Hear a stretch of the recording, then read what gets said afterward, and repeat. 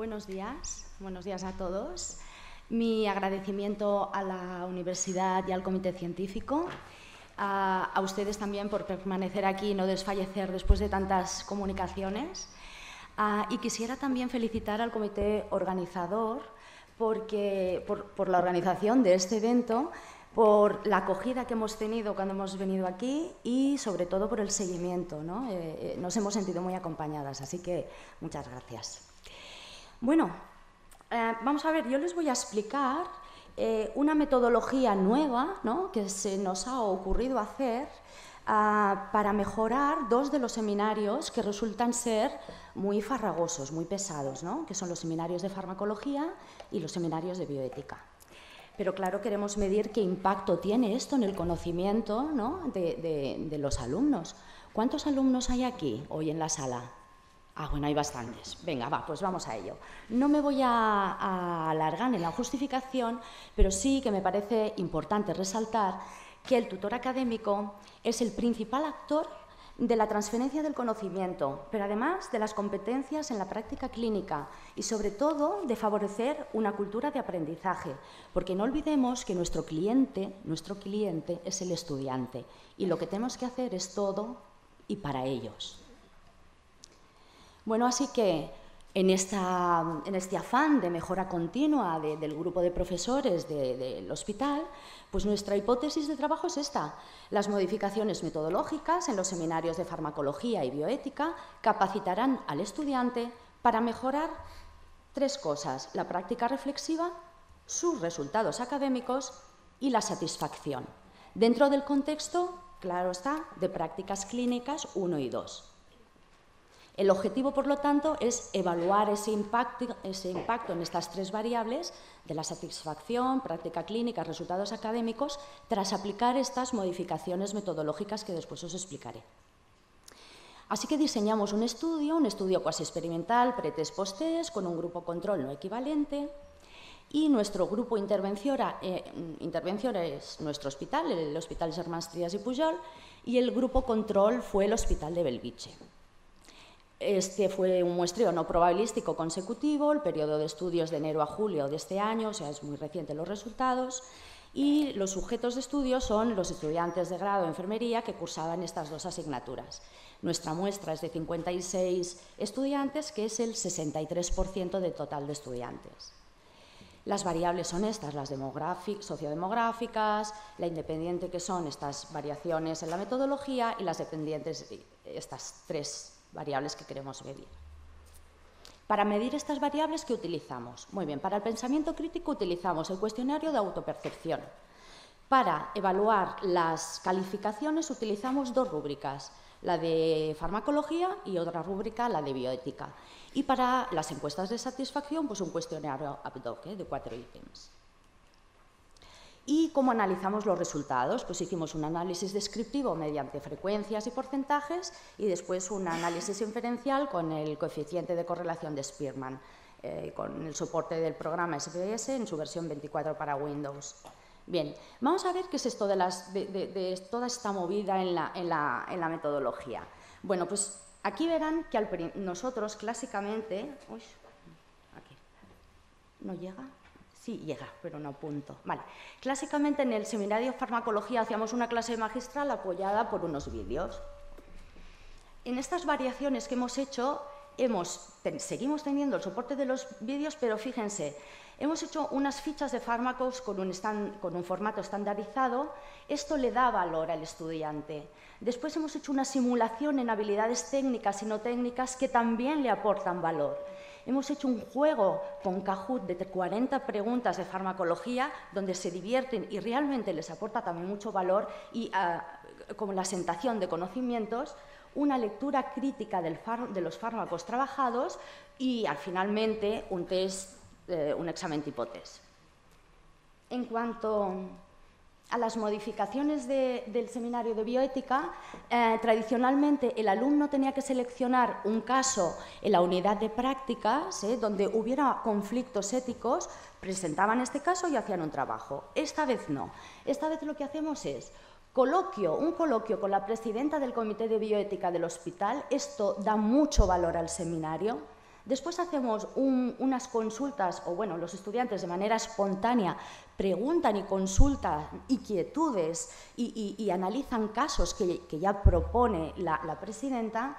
Ah, después ah, guardamos una parte para hacer un caso práctico a través de esta película porque esta película nos da varios temas a, tratar, pero generalmente nosotros discutimos y ponemos en común temas de intimidad, confidencialidad, humanización en la asistencia y comunicación.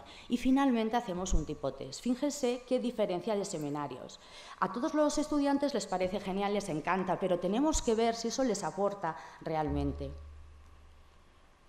Pues los resultados son estos. Tres cosas queríamos medir. Pensamiento crítico, pues aquí tienen los, resultados. El grupo intervención tiene niveles, o sea, el 8% de los alumnos en el grupo intervención tienen niveles mucho más bajos de pensamiento crítico frente al grupo control, que es un 27.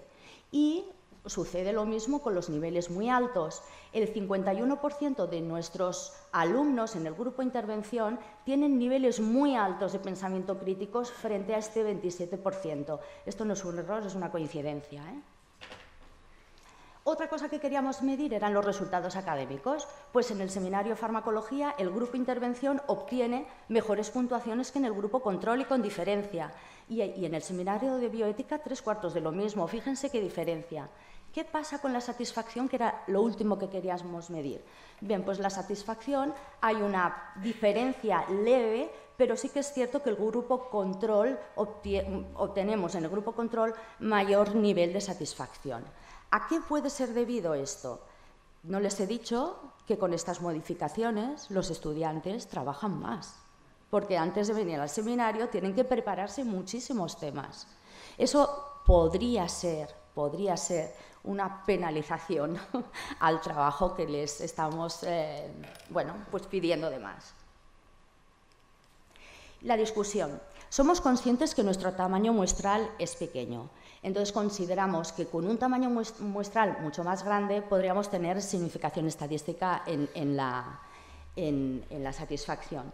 Pero es que además también hay que decir que partimos de niveles muy altos de satisfacción nosotros.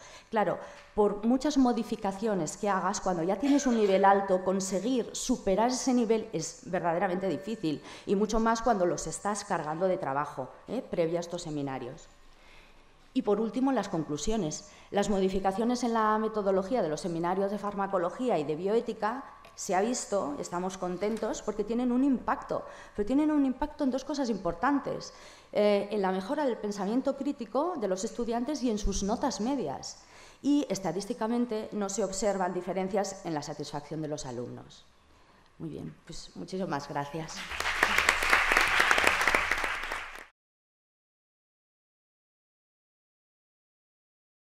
Primero todo, agradecer al Comité de Investigación del Congreso y sobre todo, como ha dicho Angélica, al comité organizativo porque nos hemos sentido muy acogidos, hemos disfrutado mucho y nos da pena que vaya acabando el Congreso, pero bueno, es, lo que toca.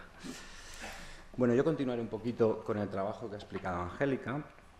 Eh, lo que os voy a presentar es el impacto de la metodología activa en la evaluación competencial en los estudiantes de enfermería de segundo y de tercero de grado. Para ponernos un poco en situación, los tutores académicos se definen como aquellos enfermeros que participan en la formación de los estudiantes en las asignaturas de prácticas clínicas, dando ayuda y soporte a la construcción del conocimiento del alumno. La formación de las asignaturas de práctica clínica queda vinculada a la universidad, ya que es quien define y articula el plan docente que debe aplicar el tutor. La universidad selecciona los diferentes centros con convenio, donde los estudiantes realizan sus periodos de práctica clínica.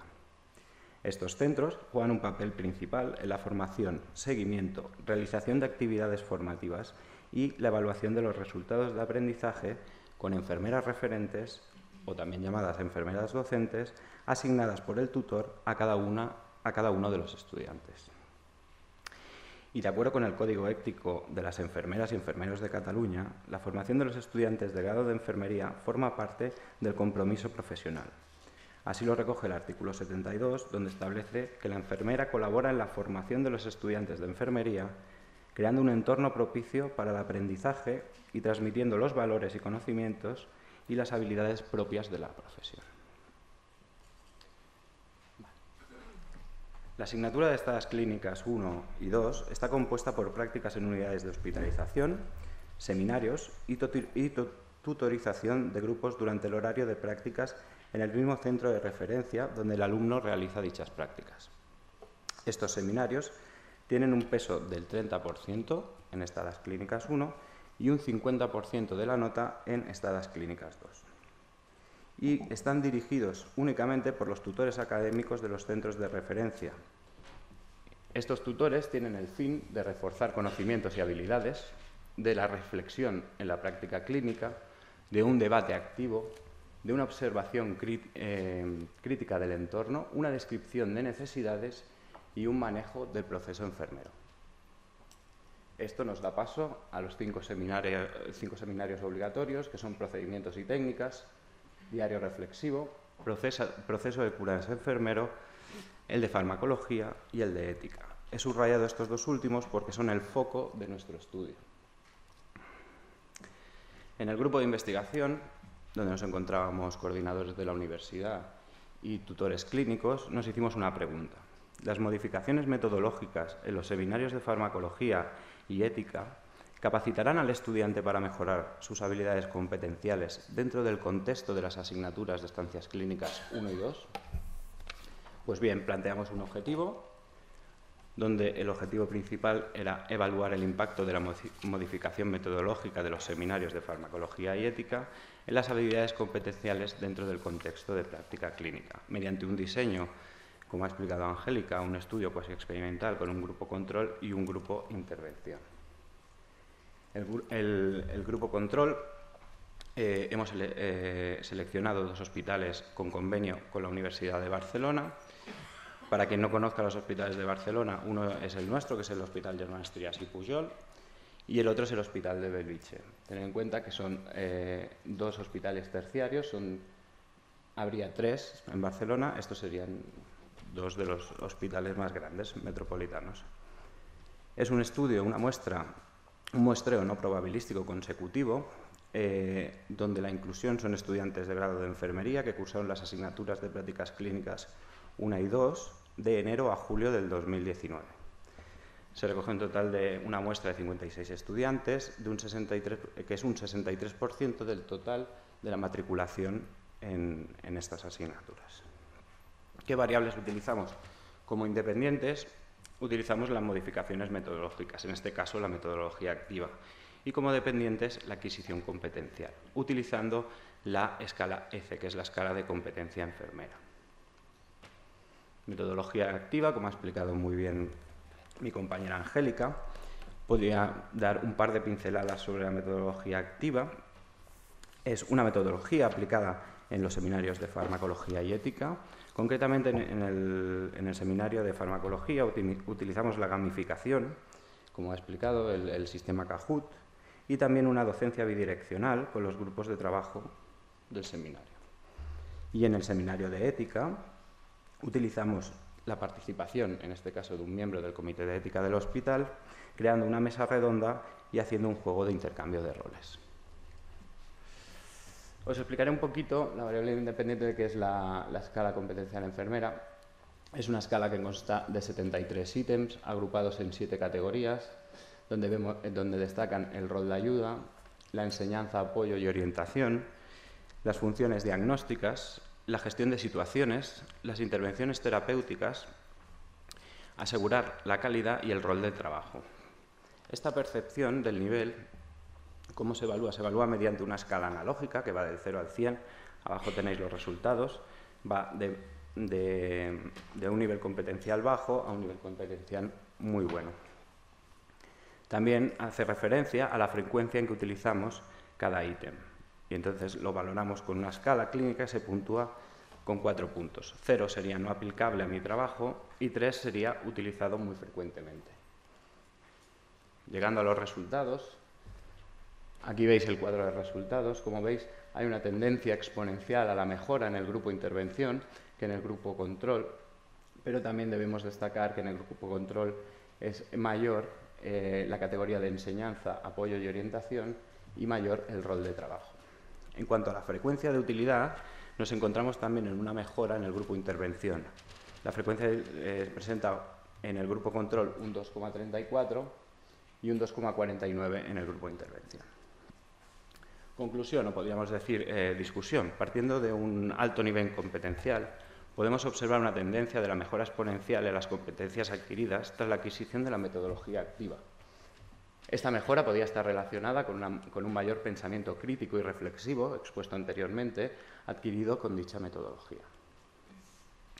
Y la conclusión final sería que, a pesar de que se observa una tendencia a la mejora en las competencias adquiridas, no existen diferencias estadísticamente significativas en la percepción de la adquisición competencial ni en su utilización, encontrándonos con valores promedios entre buenos y muy buenos.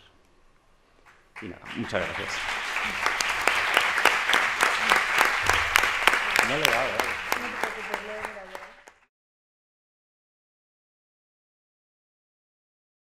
Buenos días. En primer lugar, agradecer tanto a la universidad como al comité de investigación la oportunidad de estar hoy aquí presentando mi trabajo de fin de grado y especial mención a mi tutor, don Juan Antonio Sarrión. Como trabajo de fin de grado realicé una revisión bibliográfica acerca del beneficio de la práctica de mindfulness en la prevención y o reducción del síndrome de burnout en profesionales sanitarios.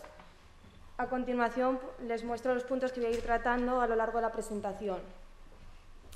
Como introducción me gustaría recordar que el estrés es una respuesta natural y de alerta, pero que es cuando se da en exceso y en un tiempo demasiado prolongado cuando crea tal sobrecarga de tensión que es lo que acaba repercutiendo negativamente. En relación a ello surge el síndrome de burnout, que es considerado un trastorno adaptativo crónico que se desencadena por una afrontación ineficaz a las demandas psicológicas en el ámbito laboral.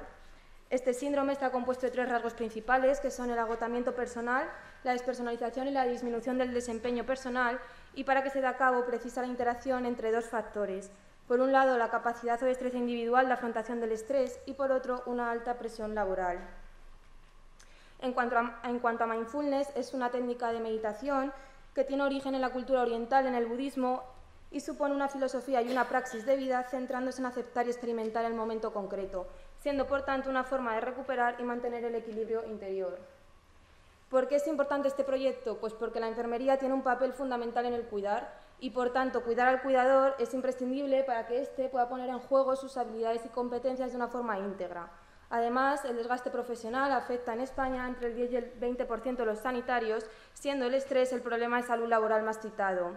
En cuanto al síndrome de burnout, 6 de cada 10 profesionales lo padecen e eh, y es causante hasta el 50% de las bajas laborales, influyendo en la calidad asistencial siendo por tanto una forma de progresar tanto científico como asistencialmente. ¿Cuáles son los objetivos? Pues como objetivo general tenemos evaluar la efectividad de la práctica de mindfulness en la reducción o prevención del síndrome de burnout en profesionales sanitarios y como específicos, por tanto, revisar la efectividad y beneficios de esta técnica, ver la prevalencia del síndrome de burnout en los sanitarios, ver la prevalencia del uso de mindfulness por los sanitarios y, por último, ver la relación entre mindfulness y el síndrome de burnout. ¿Cómo he llevado a cabo esta revisión? Pues por medio de cinco palabras clave, tanto en inglés como en español, alternas en diferentes fórmulas de búsqueda a través de seis bases de datos. Para ello, se revisaron más de 39.800 artículos, siendo finalmente 48 los seleccionados. Todos ellos pasaron de forma efectiva los criterios de, mm, los criterios de validez de CAPSE. En cuanto a los criterios de inclusión, fueron seleccionados aquellos ensayos cauxi experimentales, cuantitativos en su gran mayoría, desarrollados en profesionales sanitarios, en centros de salud y hospitales a nivel internacional, publicados en los últimos 10 años, tanto en inglés como en español. Una vez llevado a cabo el análisis de los artículos, podemos sacar en clave que para que mindfulness sea útil, debe llevarse a cabo un proceso de aprendizaje que permita interiorizarlo como algo clave del día a día. Además, no hay una duración consensuada de los programas, pero la mayor parte de los artículos desarrollan de forma eficaz sus proyectos en un periodo entre 4 y 8 semanas. Para ello es imprescindible un trabajo individual diario y, por tanto, un compromiso de forma activa por parte de los intervinientes. Para la medición de los resultados, los artículos emplean escalas validadas y esto nos da una fiabilidad en los, mm, en los resultados descritos. Asimismo, en cuanto a la población de estudio, la mayor parte de los artículos se centran en profesionales de enfermería y medicina, siendo una minoría los que apelen también a otros profesionales del sector. Pero, no obstante, dado los altos niveles de estrés que hay descritos en los diferentes sectores del ámbito sanitario, los beneficios podrían aplicarse a todos ellos de forma indistinta. En cuanto a los beneficios a nivel fisiológico y emocional, encontramos mejoras en los niveles de autocuidado y autocompasión, mejoras en la empatía, resiliencia, calidad de vida, optimismo e incluso dolor físico, viéndose disminuido el estrés y el cansancio emocional, que son características definitorias del síndrome de burnout, el cual disminuye también de forma significativa. Por otro lado, el hecho de que, haya artículos que basen sus conclusiones en el estudio de variables a nivel fisiológico nos da una percepción más clara y objetiva de los beneficios descritos. En cuanto a la práctica asistencial, está claro que la actitud y bienestar con la que los profesionales nos enfrentamos al día a día influye de lleno en la calidad de nuestros actos y, por tanto, mejorando la confianza y bienestar de los profesionales, se mejora la calidad asistencial y, además, se disminuye el riesgo de error.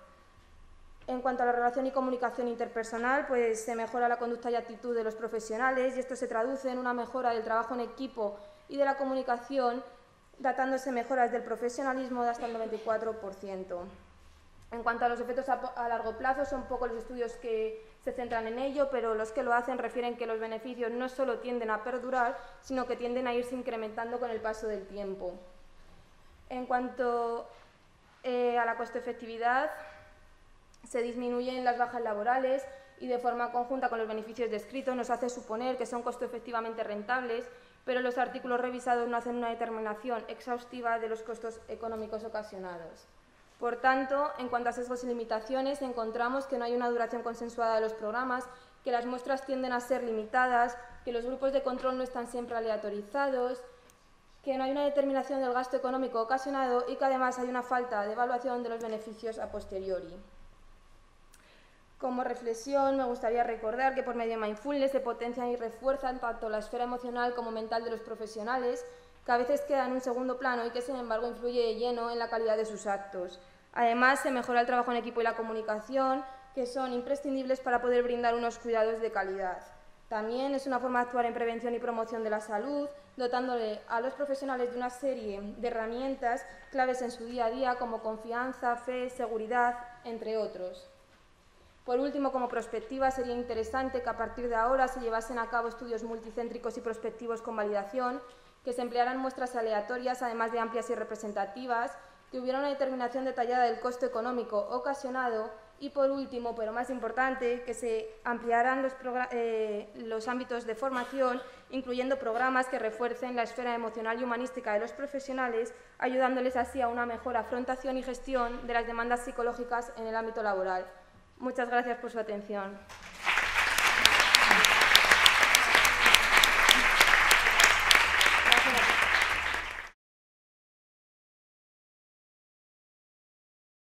todos. Muchas gracias tanto a la universidad como a la organización del Congreso por la oportunidad de estar aquí.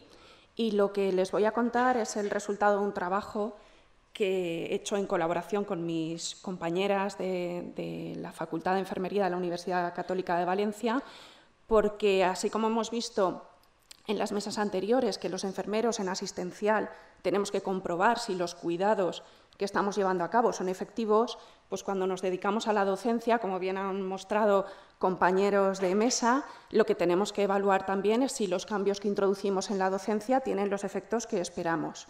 Y eso es lo que, lo que vengo a contarles. En la conferencia de esta mañana hemos podido ver cómo la adaptación de los planes de estudios al espacio europeo de educación superior da el protagonismo al alumno a la hora de aprender.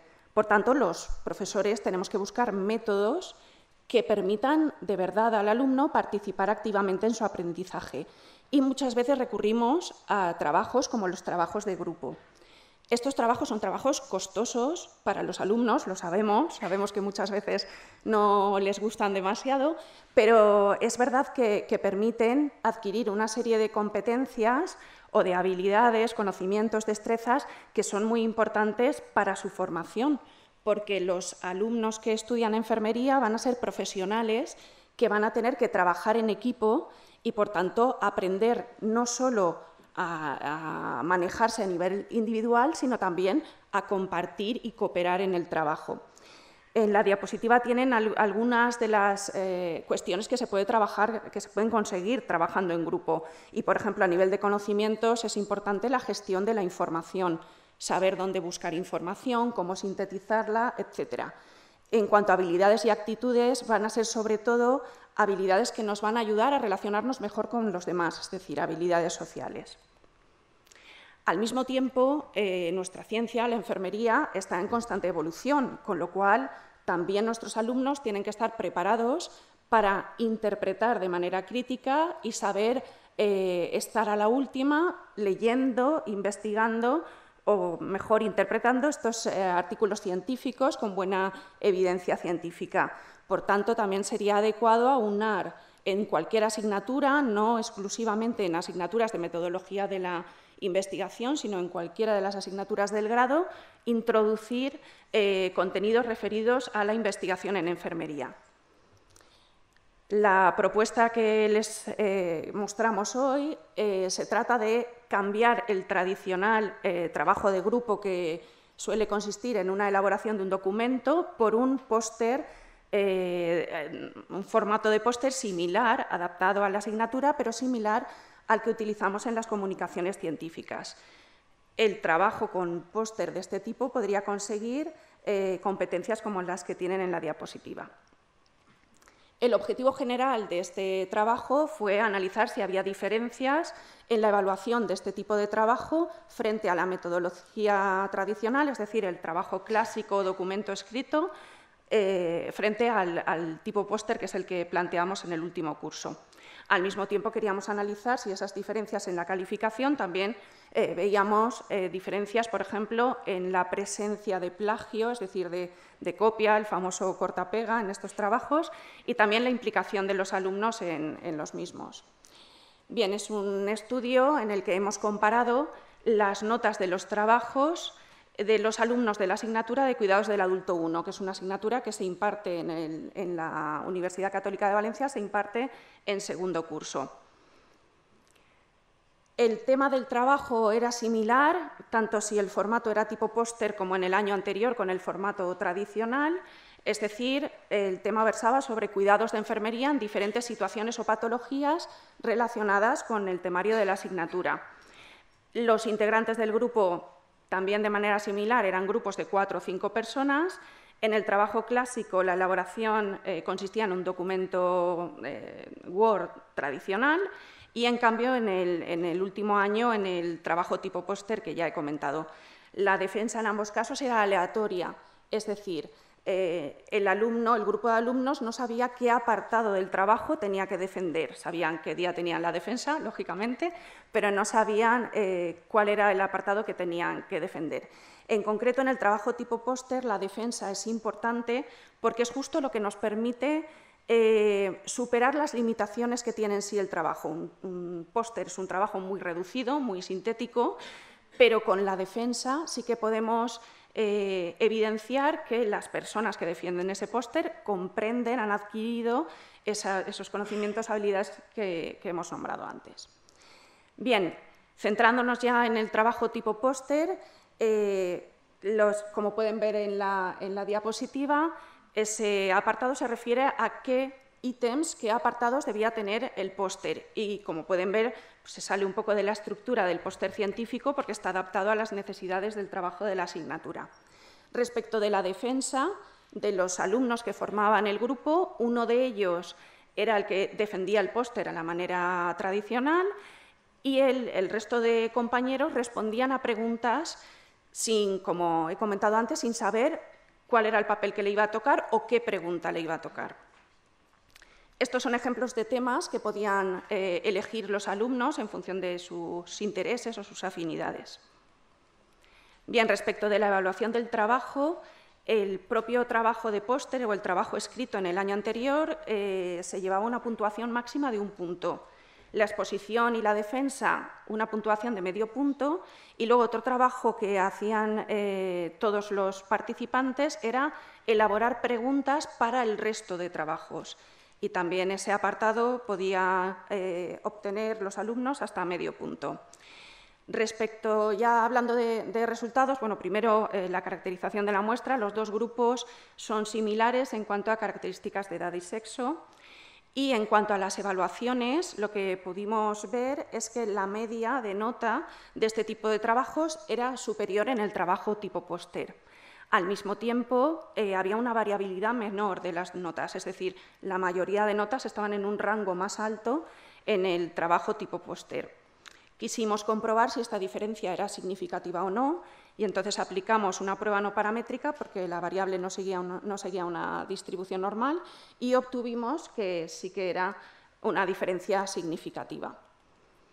Como conclusión, podemos decir que la calificación de estos trabajos ha sido superior a los trabajos tradicionales y que la variabilidad de notas ha sido menor, pero además hemos encontrado que en los trabajos tipo póster no ha habido eh, plagio, no ha habido opción de plagio, mientras que en los trabajos eh, tradicionales sí que podíamos encontrar en mayor o menor porcentaje.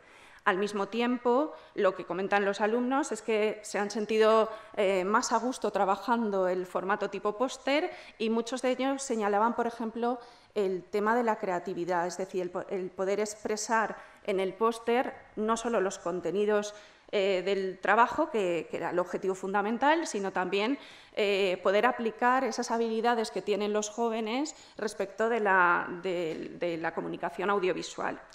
Y bueno, he tenido que cambiar de presentación porque no lo pensé en un primer momento y quería eh, aprovechar y presentarles algunos ejemplos de los pósters que entregaron los alumnos para que vean cómo siendo un trabajo relativamente sencillo, pues lo expresan de maneras muy distintas, eh, más cercanas, más formales, con eh, variedad de, opciones, pero todas ellas con un contenido eh, muy adecuado. Este ha sido un trabajo preliminar, hemos visto que hay una diferencia en la calificación, lo que nos anima a seguir con trabajos de este tipo, pero vamos a profundizar para analizar de verdad qué mejoras, más allá de la calificación, qué mejoras obtienen, obtienen los alumnos. Muchas gracias a todos por su atención.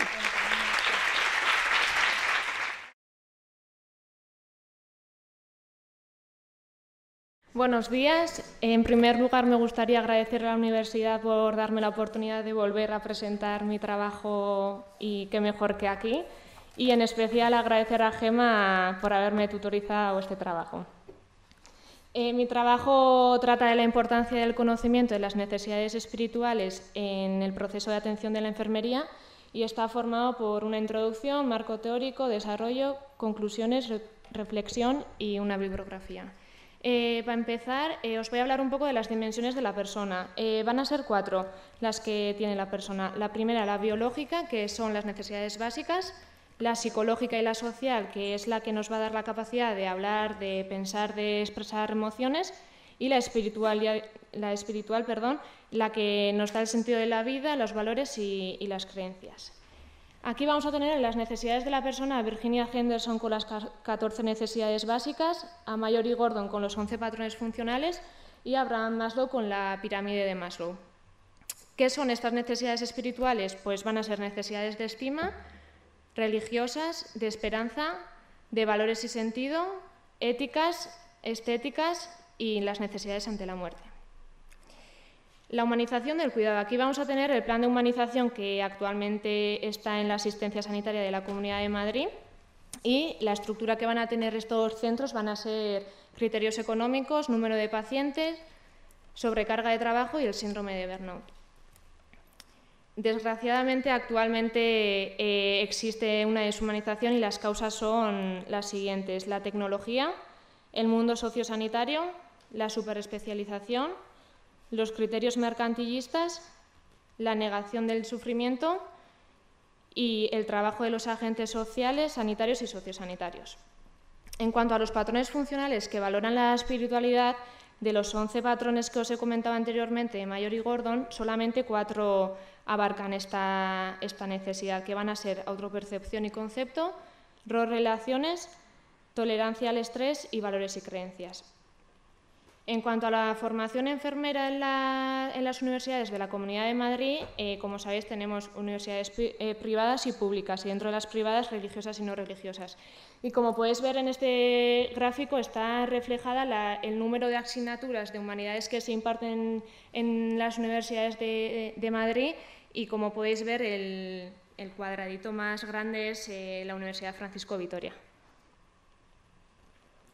En cuanto a los protocolos que incluyen estas necesidades espirituales eh, en la Comunidad de Madrid, tenemos el plan de humanización.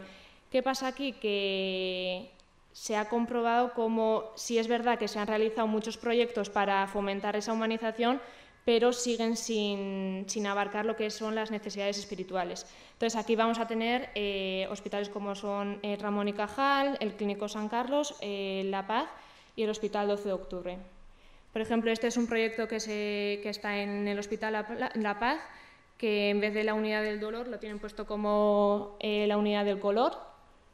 Está la pajarera y la azotea en el 12 de octubre. Entonces, como podéis ver, pues sí es verdad que se han realizado proyectos para fomentar eso y para que al final, pues, eh, lo que es el proceso de enfermedad y, digamos la estancia, que no es una, digamos, una estancia buena, pero se puede hacer más llevadera. 50.000 eh, personas mueren cada año en España sin una atención paliativa y esto es un sufrimiento evitable. Tiene 125.000 enfermos en cuidados paliativos y 60 de, por ciento de ellos eh, necesitan este tipo de tratamientos y no, tienen acceso a ellos. Y el sufrimiento, eh, obviamente, pues está en el paciente, en la familia y también en los profesionales sanitarios. Eh, como se ha podido escuchar durante este congreso, eh, una comunicación eficaz es mm, prácticamente fundamental en el cuidado del paciente y esto mejora en el estado emocional, en el estado funcional, en los síntomas, en la mejora de síntomas del paciente y en el control del dolor. Este proyecto, ¿a quién va a ir dirigido? Pues va a ir dirigido a enfermeros y enfermeras del Hospital La Paz, pero en verdad este proyecto es aplicable en cualquier hospital y centros sanitarios. El método de captación que utilizaría sería mediante un póster colocado en diferentes eh, espacios y la estructura general se realizaría en un salón de actos del mismo hospital con cuatro sesiones grupales y cada sesión duraría tres horas. Eh, habría eh, posibilidad de venir tanto por la mañana como por la tarde para que todos los eh, sanitarios puedan venir a contraturno. El objetivo general de este proyecto va a ser concienciar al personal sanitario de la importancia que tiene el abordaje de estas necesidades espirituales y aumentar su conocimiento y los específicos para ello pues se ofrecerían recursos y herramientas para una buena actuación se aumentaría también pues como os he comentado el conocimiento de la importancia que tiene la comunicación y se mejora, bueno, el objetivo también sería mejorar la calidad de vida y sobre todo la asistencia sanitaria. Este sería el cronograma que utilizaríamos. El sistema de evaluación sería mediante unos cuestionarios y reunión de docentes y los recursos que se utilizarían sería eh, una sala con 20 sillas, una pizarra, rotuladores, ordenador, pantalla, las sesiones se dividirían de esta manera. La primera sería la informativa. Aquí se explicaría un poco pues, eh, el porqué de este proyecto, ¿no? por qué se realiza. Eh, se conocería también un poco pues, mm, los conocimientos que tienen acerca de esto los participantes y aquí ya se comenzaría explicando pues, lo que es la persona, las dimensiones y las necesidades que tienen. Y se finalizaría con un debate. La segunda sesión sería la relación profesional-paciente Aquí se repasarían los conceptos eh, tratados anteriormente y se daría lo que es una buena relación eh, profesional-paciente. para ello se ofrecerían lo que son recursos y, herramientas y se finalizaría con casos clínicos. La tercera sesión sería la comunicación y aquí pues, se explicarían los tipos de comunicación que, tenemos. Eh, para ello también pues, se ofrecerían recursos y herramientas y aquí lo que si fuese posible, pues se querría pasar eh, un cuestionario a los pacientes para ver el grado de satisfacción que tienen con, la atención que, reciben en el hospital. Y finalmente se realizaría un teatro para poner en, práctica lo que se trata. Y finalmente la cuarta sesión sería paciente por un día. Aquí se recopilaría todo lo que se ha tratado en, en todas las sesiones y se invitaría a los pacientes a que viniesen a ver eh, pues los teatros que se hacen con todos los temas tratados en, todas las sesiones.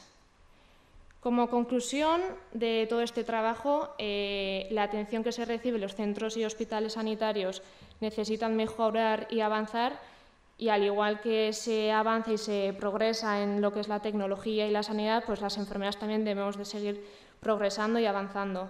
Y esto pues mm, debería de empezar desde la impartición de más asignaturas en las universidades en general, yo ahora digo en Madrid, pero en general, eh, impartiendo más eh, asignaturas de humanidades y también eh, estableciendo más protocolos que incluyan estas necesidades espirituales.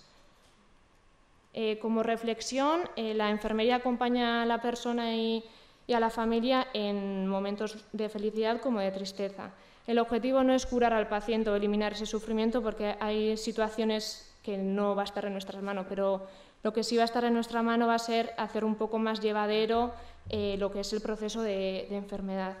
Entonces, siempre se ha dicho que, y se ha escuchado que la enfermería es vocacional. Entonces, desde el momento que somos enfermeras, nunca lo vamos a dejar de serlo. Y me gustaría terminar con lo siguiente. Si puedes curar, cura. Si no puedes curar, alivia. Si no puedes aliviar, consuela. Y si no puedes consolar, acompaña. Muchas gracias.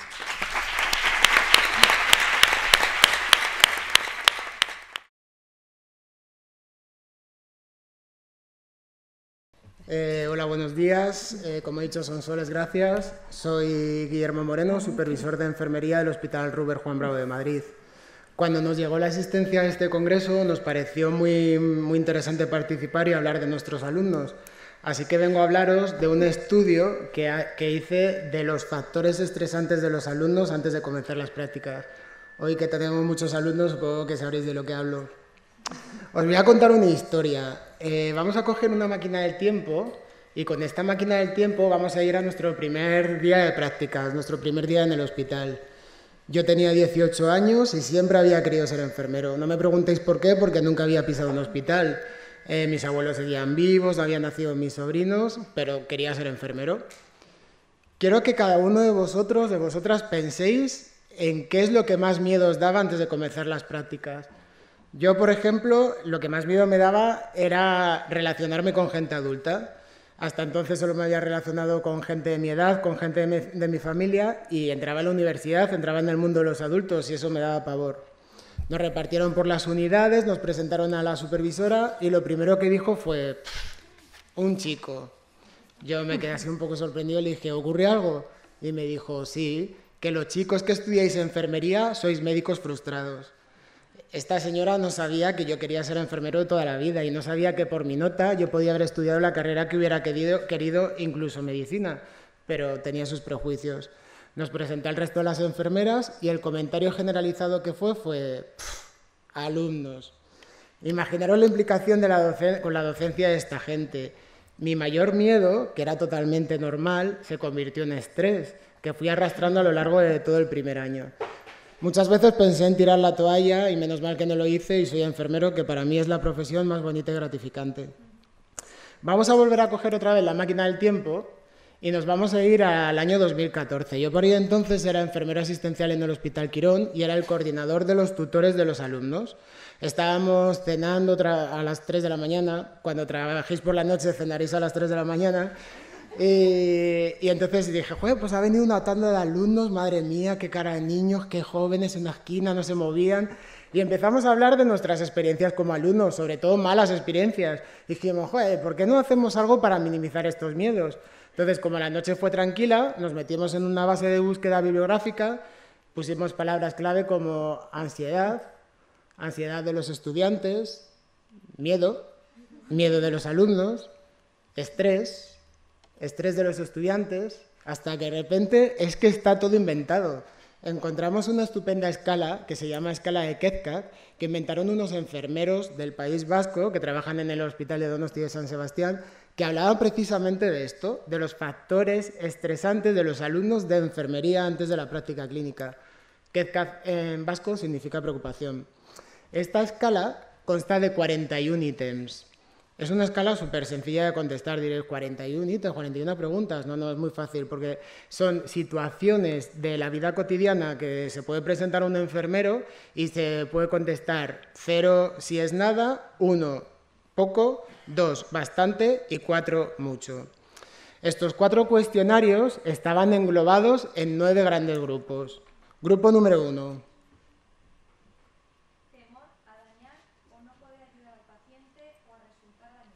El grupo 2. Situaciones de contacto con el sufrimiento.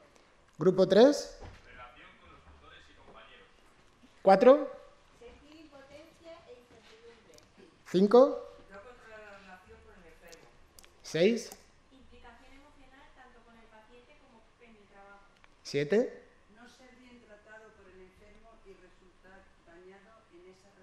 Grupo 8. Grupo 9. Pues bien, después de encontrar esto, pedimos permiso en el hospital, nos dijo que sí, que adelante, que hay que, hay que investigar. Entonces nos fuimos a las grandes universidades que tenían concierto con el Hospital Quirón, que son la eh, Europea y la Francisco de Vitoria. En total eh, juntamos eh, 100, 200, 269 alumnos, que son muchos, eh, y fuimos a los alumnos de primero y de segundo. Recordad que en este, en este año eh, era justamente el paso de, grado, de, diplomatura a grado, entonces había alumnos tanto de primero como de segundo que no habían comenzado todavía las prácticas. En las variables las cruzamos en el programa informático SPSS. Eh, las variables, como podéis ver, de sexo, 79 hombres respecto a 190 mujeres. Como podemos ver, la enfermería también es cosa de hombres. Cruzamos la variable de edad, sobre todo los rangos mayores estaban entre los 19 y los 22 años, y nos pareció interesante también reflejar si habían trabajado o no en un hospital. Así que nos pusimos a, ello y seleccionamos de los 41 ítems aquellos que en el 60% o más habían reflejado como, como estresante. Y salieron estos de aquí. Entonces, como coordinador de los alumnos, eh, decidimos hacer un primer seminario el día que recibíamos a los alumnos en el hospital y hablar precisamente de estos miedos para minimizarlos. Por ejemplo, eh, pincharse con una aguja. Pues eh, hablamos de que existe un protocolo interno que en caso de que te pinches con una aguja hay un, un, protocolo de accidente biológico con un seguimiento tanto, de, tanto si es una fuente conocida como una fuente extraña. Les explicamos que enfermería firma un compromiso de docencia, por lo tanto los alumnos siempre van a estar tutorizados y no les van a dejar ahí, búscate la vida. Les explicamos que hay un soporte informático y el médico va a escribir informáticamente el tratamiento. No sé si hay aquí algún médico, pero ya sabéis que la letruja a veces parece jeroglíficos. Entonces, eh, con esto conseguimos minimizar los miedos. Para terminar, dejadme por favor poner una, una definición, estamos en un congreso. Eh, Lazarus y Folman definen el estrés como aquella relación particular entre la persona y el ambiente que es valorada por parte del individuo como un esfuerzo excesivo o que va más allá de sus recursos, haciendo peligrar su bienestar. Los miedos están y siempre van a estar, pero por favor, no permitamos que se conviertan en estrés. Muchas gracias.